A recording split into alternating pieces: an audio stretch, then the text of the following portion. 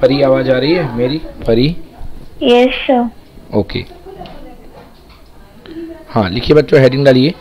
Dot product in cartesian form dot product in cartesian form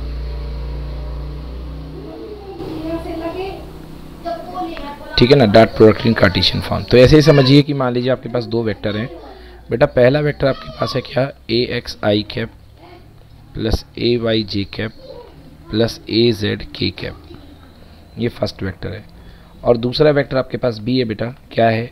B का x component i cap b का y component into j cap plus b का z component into k cap अगर आपको दोनों का dot product करना है so you can you may write these in the form of a dot b equal to a x i cap plus a y j cap plus a z k cap dot b x i cap plus byj cap plus bz k cap. Now what to do?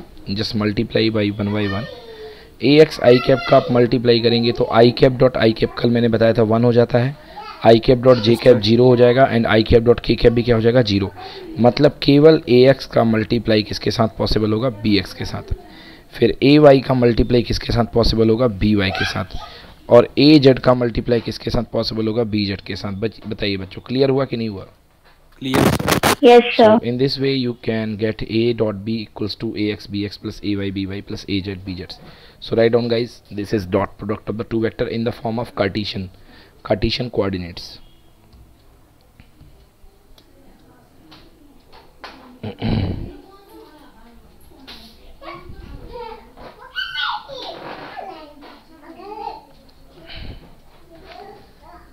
Yuvraj charger लेके आओ mobile का so these are the dot product in the form of cartesian coordinate clear ho gaya sabko yes sir okay yes sir now see uh, if I talk about the cos theta yesterday we have uh, learned about the angle cos theta uh, start से बता देता हूँ vector a dot b define we have defined vector a dot b equals to mod of vector a mod of vector b into cos theta so cos theta we may write cos theta is equals to vector a dot b upon mod a mod b.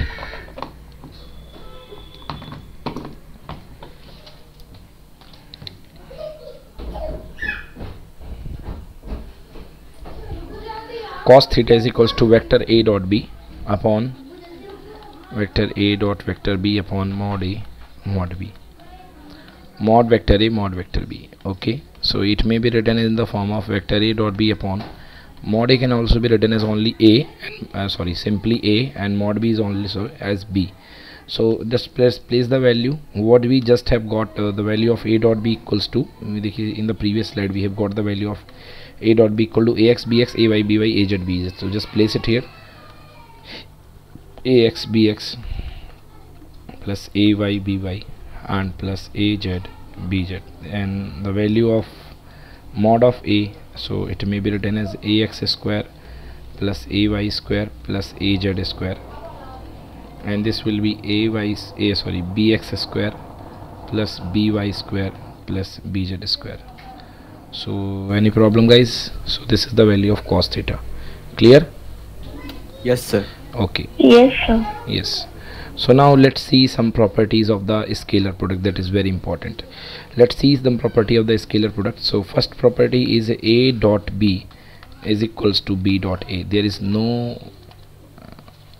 problem if you change the order a dot b is equals to b dot a means you can multiply uh, dot product as a and as a commutative a को b से multiply करो b को a से multiply करो कोई फ़र्क नहीं पड़ता है then next scalar product is distributive. Now see how scalar product is distributive. If a dot b plus c there is the combination of two vector of b and c and a, a, a getting dot multiplied with that then you can you may break this as the form of a dot b plus a dot c. So please write it a dot b plus a dot c. Now if the two vectors are perpendicular if the two vectors are perpendicular then the their angle between them is 90 degree so what will be the value of a dot b? A dot b equal to mod a mod b cos 90 answer equals to 0 so definitely if the product of two product of two vector is 0 this means these two vectors are uh, perpendicular to each other.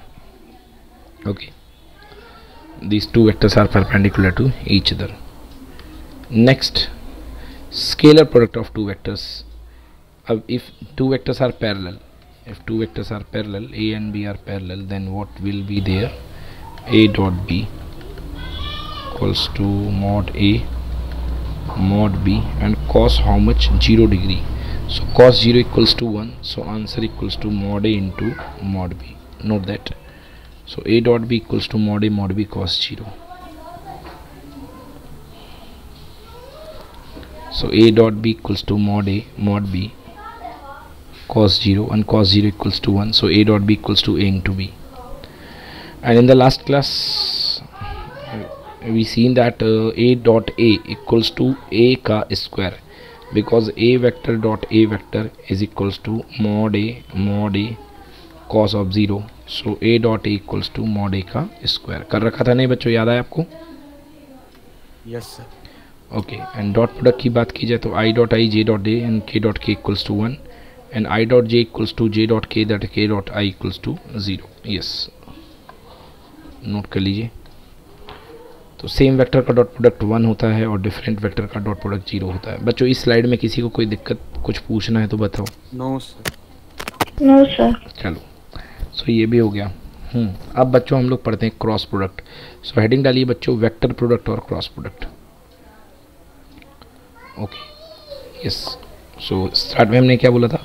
अगर आप दो vector को ऐसे multiply करते हो that a multiplied by b is equals to a c vector new vector you getting मतलब दो vector को आपने मल्टीप्लाई किया और आपके पास एक नया वेक्टर आया then such product is defined as cross product अब आप समझिए कि क्रॉस प्रोडक्ट का मतलब क्या होता है। क्रॉस प्रोडक्ट का मतलब होता है कि जो रिज़ल्ट जनरेट होता है ना, वो ड्यू टू रोटेशन होता है। मतलब ए क्रॉस बी का मतलब होता है रोटेट ए टूवर्ड्स बी तो आप अपनी कॉपी में लिखिए see what is mean a cross b a cross b means rotate the vector a towards b towards b sir but question कहोगे sir how can we rotate the vector a towards b let's see आप लोगों ने tap खोला होगा। नल लगे होते हैं घर में किचन में। टैप Yes, जब sir. आप ओपन करते हैं तो आप समझिए वो वाला टैप एक ऐसा टैप आता है। कुछ ऐसा बना रहता है। कुछ ऐसा टैप आपने देखा होगा। चार बने रहते हैं ऐसे। है ना? कहीं ना कहीं तो देखे होंगे कोई भी टैप होता है। सो आप ज़रा उसको फीलिंग करिए जब आप उसको खोलते हैं तो क्या होता है? आप ऊपर आता है। हाँ ये ऊपर की तरफ़ आएगा। तो ये this is vector a and this is vector b so what you doing कि आप जो वेक्टर ए है ना उसको बी की तरफ़ घुमाते हो एक्चुअली यस ये वेक्टर ए है इसको आप बी की तरफ़ घुमाते हो। ए को बी की तरफ़ घुमाते हो तो अपने राइट हैंड को रखो। और आपने राइट हैंड की उंगलियों को मोड़ो। तो देखो, जिस तरफ़ आपका वो नल घूमता है, वैसे ही आपकी उंगलियाँ घूम रही होती हैं। तो आपका अंगूठा कहाँ जा रहा है? ऊपर की तरफ़ जा रहा है। Yes so if you rotate a towards b आपकी उंगलियाँ ये अंदर की तरफ़ आपकी उंगलियाँ बंद हो रही हैं और आपका जो अंगूठा है, वो ऊपर की तरफ़ जाएगा। So this is the direction of a cross b समझ में आया बच्चों? So this is the direction of a cross b मतलब ए क्रॉस बी जो होता है, वो हमेशा कहाँ जाता है? ए और बी के प्लेन के परपेंडिकुलर मतलब ए कहाँ था? ए देखो, यहाँ पे था। बी कहाँ था? यहाँ पे था। ए और बी ये थे। और ए और बी के दोनों के ही परपेंडिकुलर नस, नल आपने जिस प्लेन में घुमाया, जो आपका नल का रोटेशन हुआ, वो कहाँ हुआ? ऊपर की तरफ़ हुआ। Yes so this is the direction of a cross b ये ए क्रॉस बी का डायरेक्शन बनेगा। ओके ए क्रॉस बी का डायरेक्शन बनेगा। मतलब इस तरफ़ जाएगा कौन? इस तरफ़ जाएगा ए क्रॉस बी तो अब ए क्रॉस बी के डेफिनेशन लिख लो आप लोग। What is a cross b a cross b equals to mod a mod b sine theta और साथ में एन कैप एन कैप क्या हो? क्यों है? एन कैप मतलब ए क्रॉस बी की डायरेक्शन का unit vector what is n cap n cap is the unit vector in direction of a cross b. बोलो समझ में आ गया? ए बी साइन थीटा कहाँ से आया? ए बी साइन थीटा कहाँ से आया? नहीं ये डेफिनेशन जैसे वहाँ पे ए बी कॉस थीटा आया था वैसे यहाँ पे ए बी साइन थीटा आएगा। ये इसको आपको रट, रटना पड़ेगा। So a cross b equal to mod a mod b sine theta n cap ये थीटा बता देता हूँ मैं क्या है। ए क्रॉस बी का मतलब अगर आप ए को बी की तरफ़ घुमा रहे हो। Yes this is the angle between a and b तो आपका जो रोटेशन जाएगा कहाँ जाएगा? दोनों के परपेंडिकुलर जाएगा। देख लो ध्यान से। ये ए है ये बी है तो ये दोनों का बनने वाला प्लेन है। तो ऊपर की तरफ़ जाएगा ए क्रॉस बी और ए क्रॉस बी का जो यूनिट वेक्टर होगा सबसे नन्हा कदम that is called n cap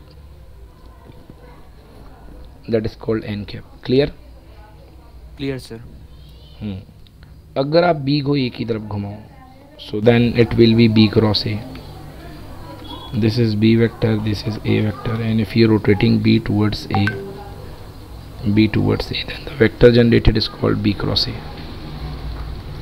अब आप बी को ए की तरफ़ घुमाओ मैं नल नल को बंद करूँ। कोशिश करो हाथ घुमा करके देखो बी को ए की तरफ़ घुमा रहे हो नल को बंद करो। देखो घूम रहा है बी की तरफ़? देखो यस सर नल घूम रहा है ना?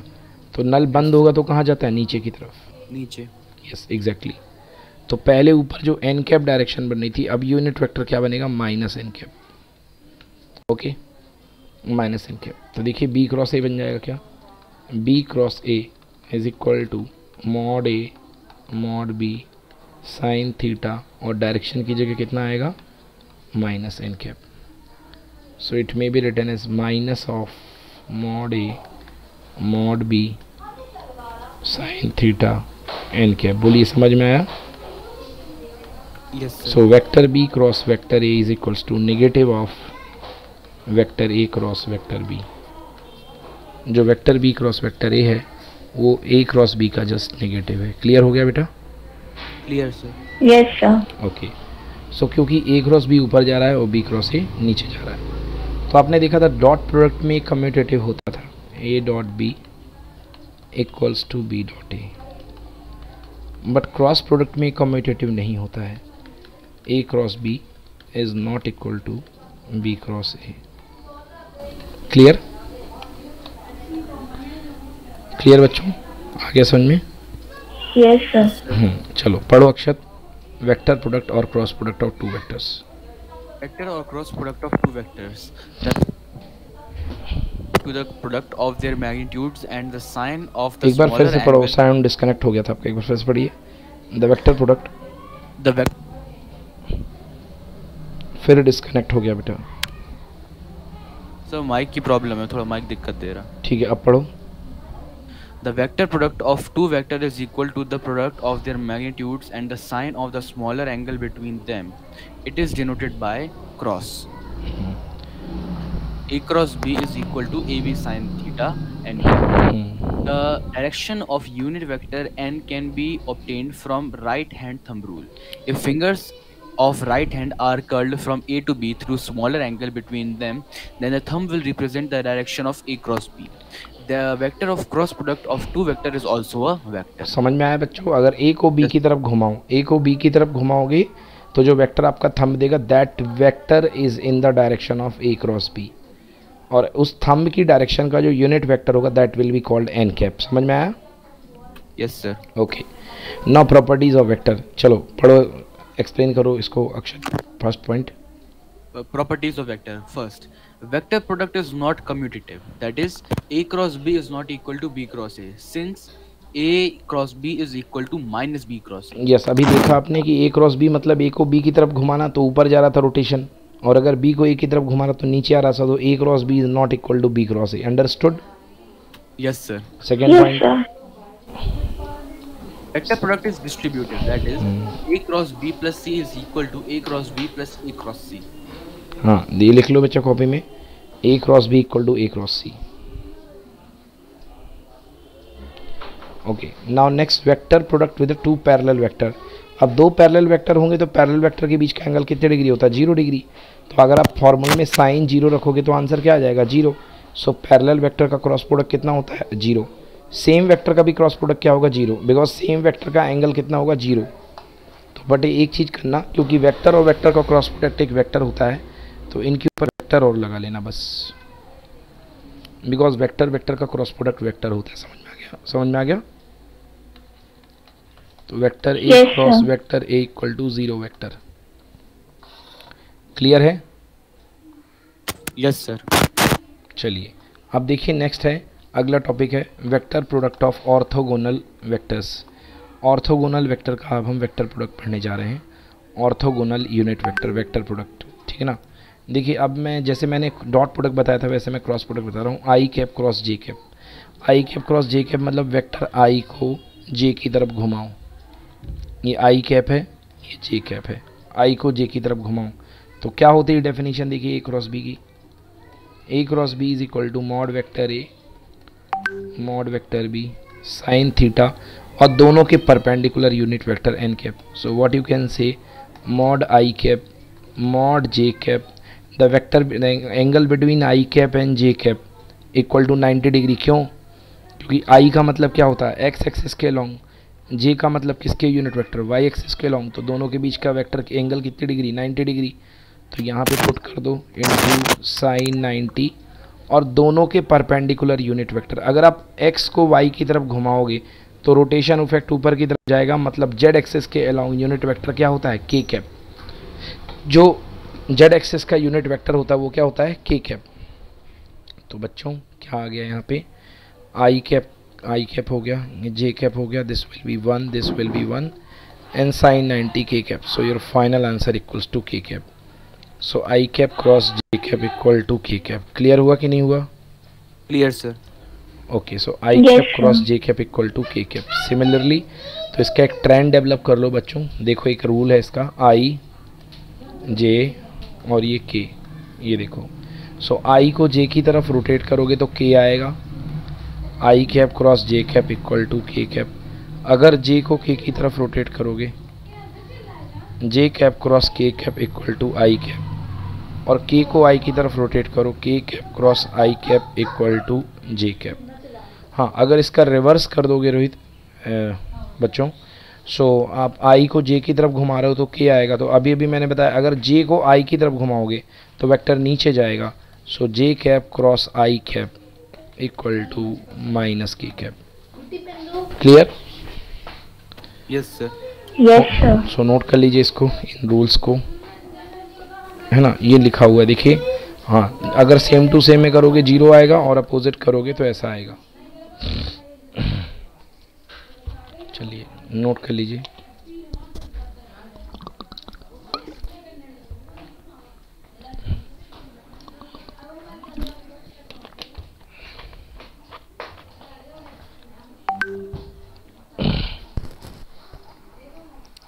क्लियर हो गया? कुछ पूछना है इसमें? नो सर ओके अब देखिए अब यदि आपके पास दो वेक्टर कंपोनेंट फॉर्म में है तो उनका क्रॉस प्रोडक्ट कैसे करेंगे?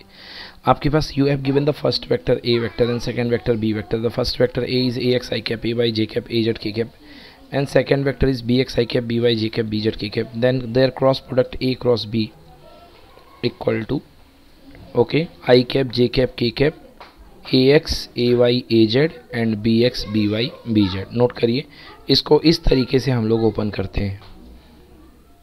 ये क्रॉस मेथड था टेंथ क्लास में वैसा कुछ है। अगर जिन लोगों ने पढ़ा है क्रॉस मेथड तो वैसे ही बिल्कुल है। इसको ऐसे ओपन किया जाता है।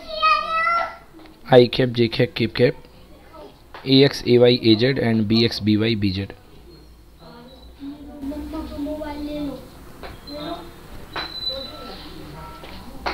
done Yes, sir. Okay now बेटा इसको सॉल्व कैसे करते हैं देखो। आई कैप सबसे पहला है अभी। बेटा इसको इसको रोक लो। नाउ आई कैप से जाने वाली रो और कॉलम को छिपा लो। देन जो बच रहे हैं उनका मल्टीप्लाई कर दो। तो देखो क्या आएगा? A Y B Z minus A Z B Y ये वाला इसका नीचे और इसका ऊपर। ठीक है ना? फिर इसको छुपा लो।